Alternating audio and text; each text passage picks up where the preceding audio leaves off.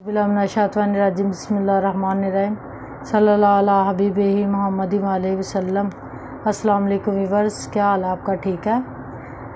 जनाब गोस पाक रहमतुल्लाह फरमाते हैं, मुर्शद की तलाश इसलिए ज़रूरी है कि इस की तरबियत में रह कर इंसान ऐसी रूह हासिल कर ले जो दिल को ज़िंदा कर दे और मरीद अपने रब की मार्फत हासिल करने में कामयाब हो जाए। गलत सही रास्ते कभी भी आसान नहीं होते।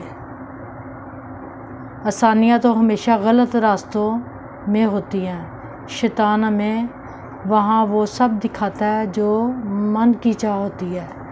और होता वो हकीकत में आखिर से गफलत है। सरासर धोखा।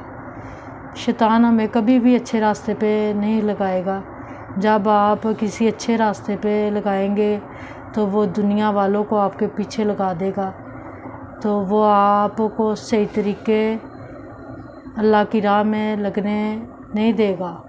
जब आप कभी नमाज़ पढ़ने लगते हैं, गाफलों की तरह नमाज़ पढ़ते हैं तो शैतान वर्ग लाता नहीं आपको, क्योंकि वो कभी कुछ करता, कभी कुछ करता।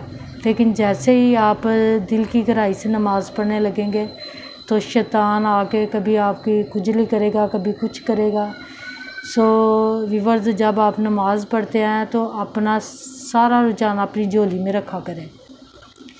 तो इन शैतान भाग जाएगा और आप सही तरीके से नमाज़ अदा कर लेंगे। डर उसको होता है जो अपने लिए जीते हैं, जो किसी मकसद के लिए जीते हैं। उसे कोई डर नहीं होता। जब कोई अल्लाह की याद में जीने लगता है तो वो नया इंसान बन जाता है। फिर उसे बोलने से ज़्यादा चुप रहना अच्छा लगता है। फिर सरकशी की बजाय सर झुकाने में लज्जत महसूस होती है। फिर शिकायत की बजाय मुआफ़ कर देने में वो सुकून पाता है। तो इंसान कितना बदल जाता है। जब मालिक का फजल हो जाता है तो वो कभी भी किसी से बदला नहीं लेगा। वो सिर्फ़ ज़रा अपने रब की तरफ़ देखेगा। सो, अगर कोई गलती कर दे या आपसे लड़ाई झगड़ा कर ले तो उसको माफ़ कर दे। यही हमारी बख्शी का ज़रिया है। अल्लाह को राज़ी रखना है तो उसकी मखलूक को राज़ी रखें। अपना ख्याल रखिएगा, दुआ में शामिल रखिएगा।